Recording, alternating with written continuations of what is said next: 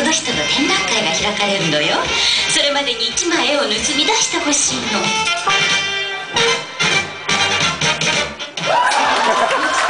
私ルパンの言うこと何でも聞くからストップよルパン高くつく女よ私は残念だけどゆっくりしてる暇はない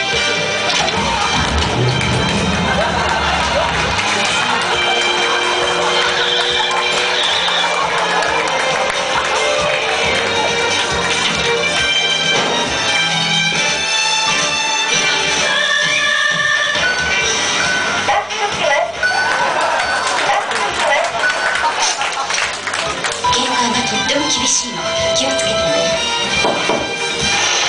ごめんなさ